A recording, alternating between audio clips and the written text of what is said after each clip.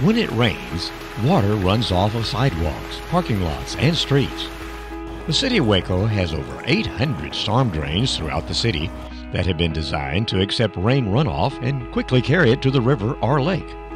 But if those drains get clogged with grass, yard clippings, cups, bottles, or other trash, the drains become clogged and water fills the streets, causing traffic accidents, and can even back up into yards and cause other property damage.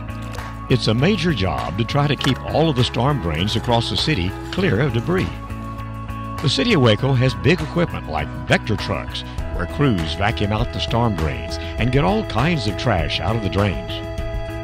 Not only does all of this trash not belong in the drains, it also pollutes our river and lake. Do your part to keep storm drains clear by bagging and properly disposing of leaves and yard clippings. Never blow grass into the streets or curbs.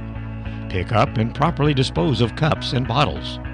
If everyone will do their part, the storm drains in Waco will work like they're supposed to and carry the storm water quickly to the river or lake.